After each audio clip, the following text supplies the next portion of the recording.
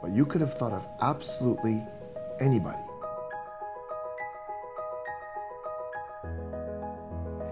Happy birthday, Erica. Erica? Is that your friend's name, Erica? Is that who you're thinking of? And that's what you wrote Yeah. from Stormy to Erica.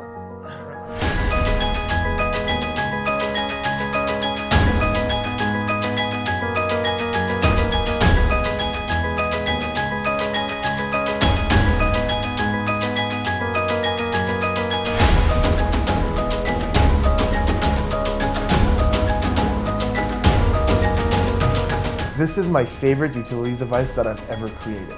And you're gonna get two of my favorite performances, although the possibilities are literally endless. Let's do this.